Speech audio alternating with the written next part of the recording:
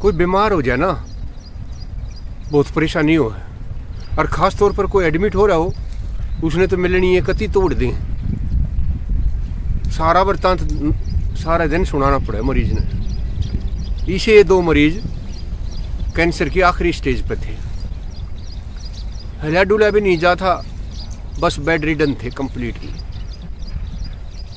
एक का बेड खिड़की के साथ था, दूसरा उसके साथ था। टाइम पास नहीं हुआ करता।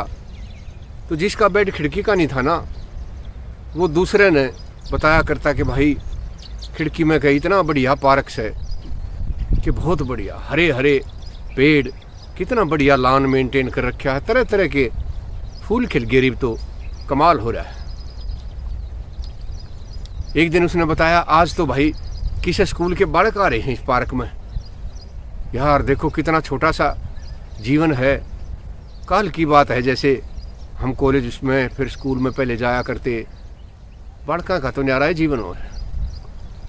मैडम बीच में है और बच्चे खेलने लग रहे कितने बढ़िया बढ़िया फूल खिल रहे हैं। अगले दिन उसने बताया कि भाई आज तो कमाल हो रहा है। पता नहीं, निरे तो जोड़े आ रहे हैं छोर और छोरी के।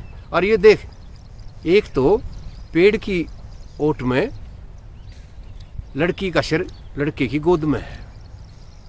कितना प्यार कर रहे हैं। जीवन में जिसने प्यार नहीं मिला ना, उसने कुछ भी नहीं मिला। और वो सारे दिन उस पार्क के अंदर क्या क्या चलता है, ये उसको बताता रहता था।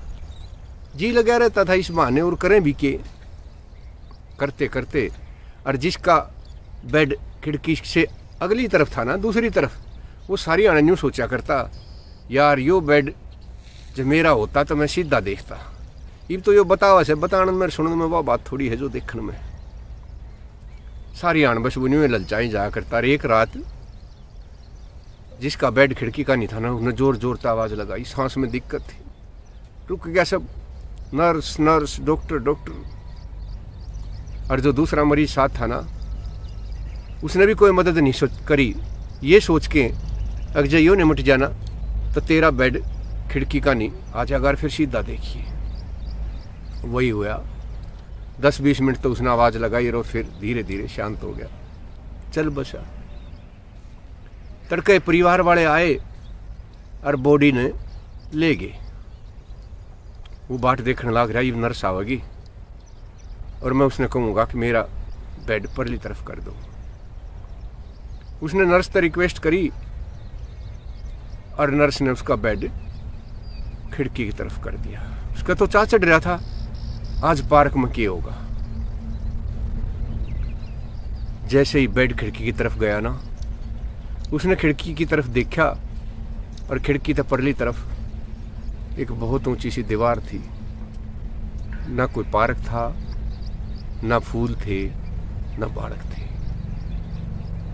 वो मरीज़ सिर्फ़ और सिर्फ़ इसलिए इसका मन बहलाया करता कि मरना तो सब न है। मैं इसका मन खुश रखूँगा। तो शायद कुछ इसने तकलीफ़ कम होगी। कहाँ तो उसकी इतनी बड़ी सोच थी और कहाँ इस निकम्मे मरीज़ की सोच है जो न्यू बाट देखा करता कि वो मर जा।